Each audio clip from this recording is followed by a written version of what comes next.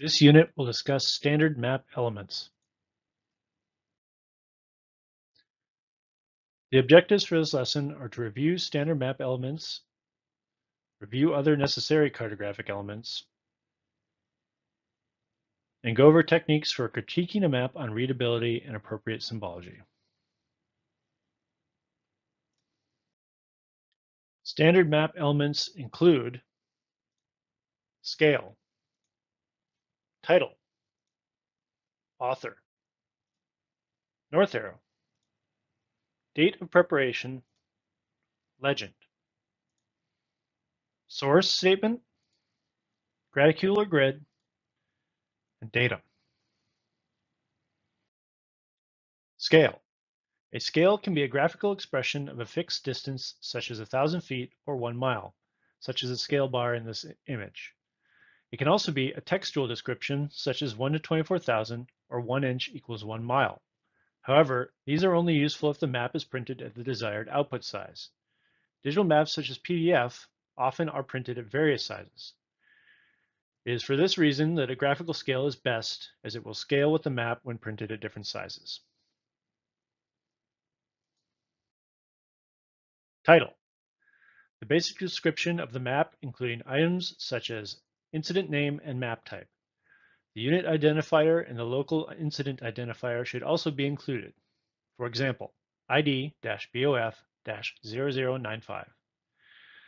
The title can range from extremely fancy to simple. The SITL will help you determine how the information should be displayed on the products. Review what the incident number is and include the year because the maps will become a historic document. It is important to note the date and time the data was collected as well.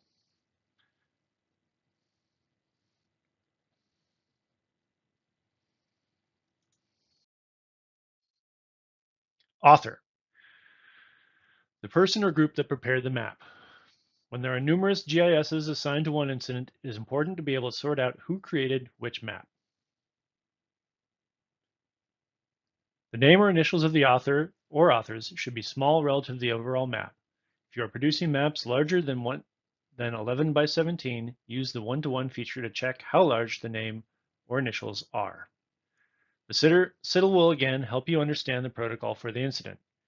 Initials, initials with last name, or first and last name are all acceptable ways of indicating authorship on an incident product.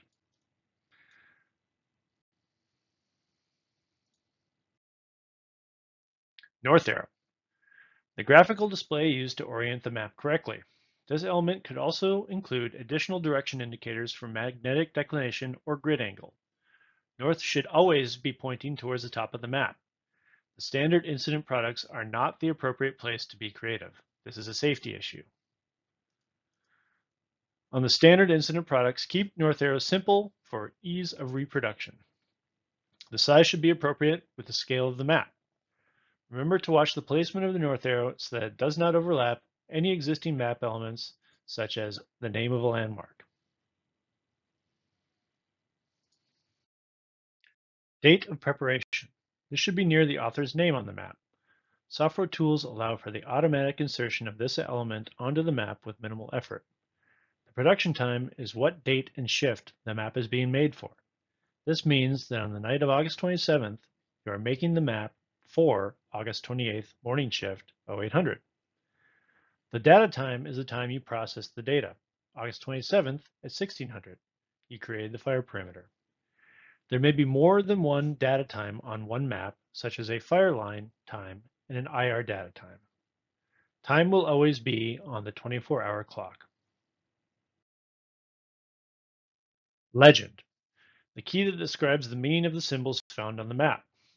Big legends with extra elements can cover up critical mapped areas, so try to keep it simple. Source statement. Citations for data and or features on a map, such as its source, accuracy, coordinate system or projection, collection method, or any number of other items. Include, when applicable, the date and time that key elements of the mapped area were collected. It may be embedded in the legend or in the title box. Infrared interpretation data is identified by the time of the flight. Graticule or grid. This element is typically a graticule of latitude and longitude marks and numbers that allows referencing of the mapped area to the specific area on the Earth. This element can also be in the form of other grid coordinates such as UTM, state plane, PLSS, or others. When working with aviation, it is typical to use a lat-long graticule in degrees decimal minutes WGS 84 datum. This is the coordinate system and datum of their navigation systems. Even though standards for the datum to be displayed on GPS units should be included in the IAP, the most common place incident personnel look for guidance on the datum for GPS units is in the maps produced on the incident. Datum. The datum must be noted on the map when a graticule or grid is used or if coordinates are displayed.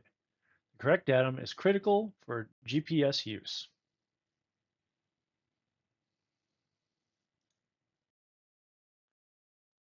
Additional cartographic elements. The SITL is responsible for determining the incident acreage. The fire acreage labeled on the map is the reported acreage. The reported acreage is located on the 209 form and may differ from the acreage calculated by GIS analysis of the data. Disclaimers may be used if needed. Some agencies have standard language. Vicinity maps illustrate the location of the fire relative to the general area, such as a county or state.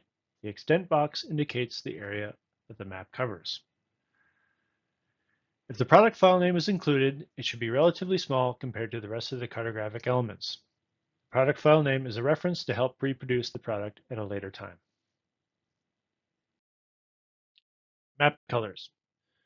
Traditional USGS colors are used on the topographic backgrounds on IAPs and some other maps, with the exception that the green for vegetation is often turned clear to improve visibility of fire features. Ownership colors. There are no national interagency standards for ownership colors. However, this is an example of the Bureau of Land Management's National Ownership Color Standard. You can find this in the job aids on the GeoOps website.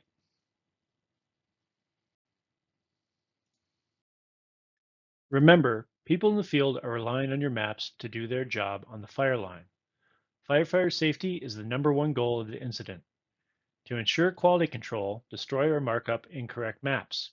If maps are being given away to incident personnel, mark them as draft or souvenirs. Maps are sought after as souvenirs.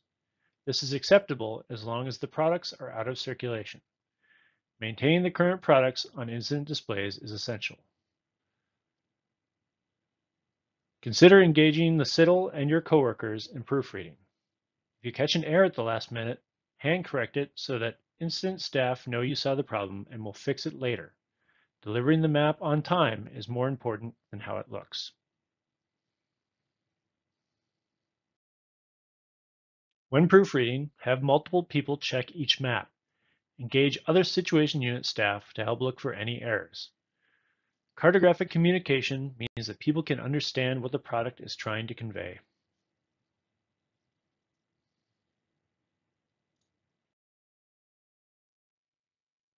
This concludes our review of standard map elements.